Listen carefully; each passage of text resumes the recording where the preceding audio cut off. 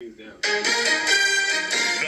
live from the Channel 4 studios, you're watching the number one newscast in Southern California, the Channel 4 News at 11.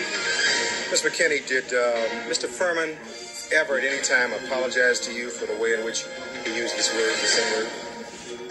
The defense goes on the offense. They can't play all the Fuhrman tapes, but they make their point anyway, and jurors get to hear Mark Fuhrman's racist ramblings in his own voice for the very first time. You'll hear this, the courtroom drama. But first tonight, crashing waves pounding the shores of Puerto Rico tonight. Hurricane Luis is moving in. A huge storm hurling itself at the tiny island with winds of up to 125 miles an hour. Good evening, everybody. It's 11 o'clock, and I'm Paul Moyer. And I'm Kelly Lange. Topping our news tonight, Hurricane Luis. It has already battered two Caribbean islands, Antigua and Barbuda. But now Luis is barreling toward Puerto Rico and the Virgin Islands, too.